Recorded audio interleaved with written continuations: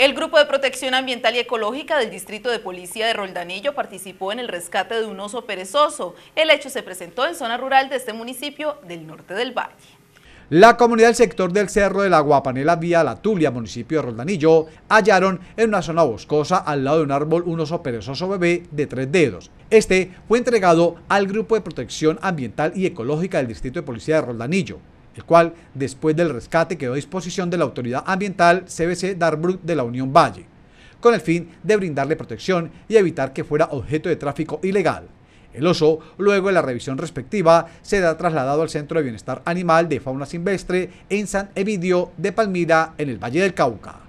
Uy, Leonardo Loaiza, CNC Noticias Buga.